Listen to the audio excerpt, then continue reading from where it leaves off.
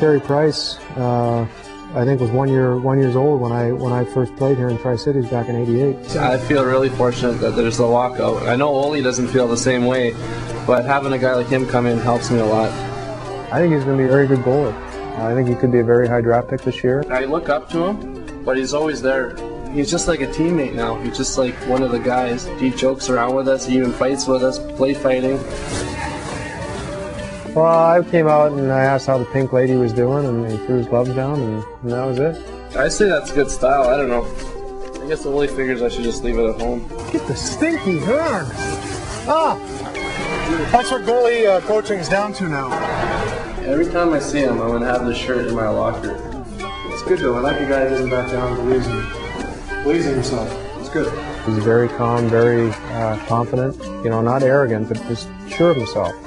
You know, that's that's rare to find as a 17-year-old, especially a goalie, when you know it's a position where you're always doubting yourself, no matter how old you are and how much experience you have. Yeah, he's there at every home game. He watches, he takes notes about what I'm doing, what I'm doing right, and what I'm doing wrong.